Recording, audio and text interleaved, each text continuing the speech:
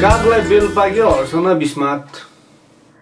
लासामा सुन्छ मन मेरो रुन्छ भने जस्तै भइरहेछ यो भ्यालेन्टाइन्स डेको यो विक क्या? के के डे के के day? Rose day chocolate day teddy day hug day promise day के के डे के के डे अनि भ्यालेन्टाइन्स डे हाम्रो जमानामा भ्यालेन्टाइन्स डे थिएन।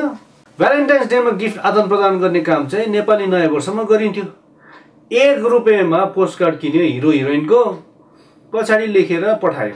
Rose is red sky is blue oh my darling I love you के गर्नु? आएकै त्यति? जसले पनि त्यही धस्काउने क्या। पछि पो थाहा भयो त डार्लिङ त पछि सक्सेस भइसकेपछि पो भन्नुपर्ने रहेछ। हामी त पहिल्यै धस्काएर पठाइदिन्थ्यौँ। त्यो जमानामा एक रुपियाँ पनि खतरै हो। नेपाली नयाँ वर्ष त अब एकचोटि हो वर्षको। तर अहिले त झन् एक्सपेन्सिभ भइसक्यो यार यो। चक्लेट डे रे रोज डे रे टेडी डे रे के के रे के के रे। अहिलेको त भेरी एक्सपेन्सिभ क्या? एक हप्तासम्म चल्छ लेना देना। देना चाहिँ केटापट्टिबाट लेना चाहिँ केटीपट्टिबाट क्या? केटीहरू फेरि यति चलाक यति चलाक। फर्स्ट डेमै नो भन्दैन।